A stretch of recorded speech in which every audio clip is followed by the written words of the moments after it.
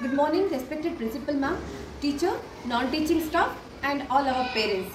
On behalf of Mothers Pathshalaa, it's me Divya, and I here to give a speech on World Environment Day. World Environment Day is celebrated on 5th June every year. Its aim is to raise global awareness about our environment.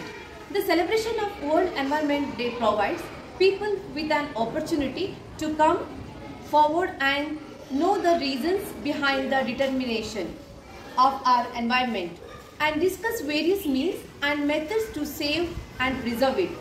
Started in 1974, this day has grown and become a global platform for public outreach that is broadly celebrated across the world.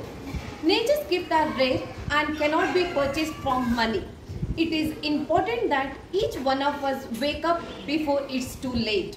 It is essential for all to realize that every little deed matters when it comes to saving the environment, no matter how small a step you are taking to lead a green lifestyle.